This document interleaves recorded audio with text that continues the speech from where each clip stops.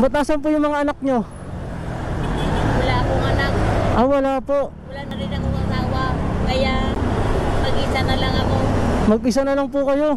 Binubuhay ko yung sarili ko. Oo. Kunin mo ako.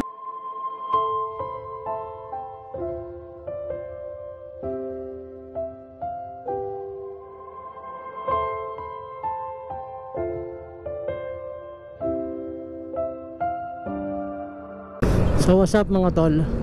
Nakita ko si nanay ayan tol oh. Ayan, naglalakad siya. Talungin lang natin kung saan siya pupunta. Hihirapan siya maglakad eh. Ayan oh.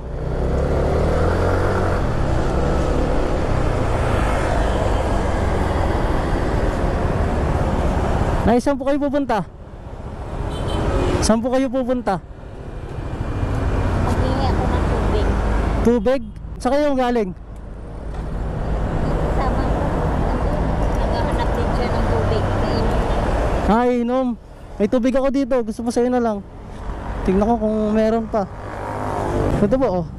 Kala, konti na lang. Saan ang punta mo niyan? Saan po kayo pupunta? Saan po kayo pupunta niyan? Saan po ba ang punta nyo? Saan ba kayo umuwi? Bili na lang namin tinapay. Ate kami isang maganda. Ah, may kasama po kayo. May kasama po kayo. Tapos naglalakad kayo. Ang, ang, ang init-init. Oo nga eh. Nanay, kawawa naman si nanay. Oh.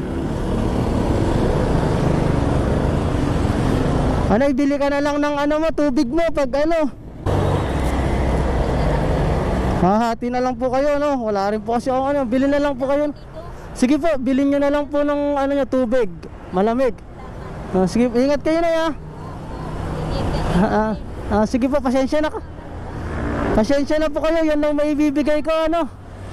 Pasensya na po kayo, yan lang maibibigay ko. Eh, wala rin po ako eh. Yung tulong na to para sa katulad namin. Oo. Ba't nasan po yung mga anak nyo? Wala akong anak. Ah, wala po. Wala na rin akong asawa. Kaya mag-isa na lang ako. Mag-isa na lang po kayo. Binubuhay ko yung sarili ko. Oo. Kunin mo ako.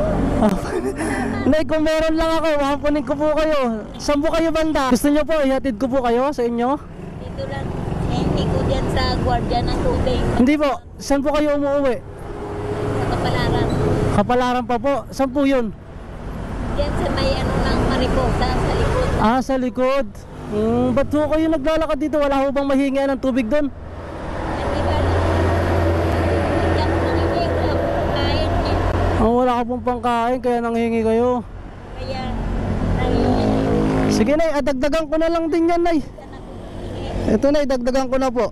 Nag-iisa na lang po pala kayo eh. Dagdag nyo na po yan oh. Idagdag nyo na po.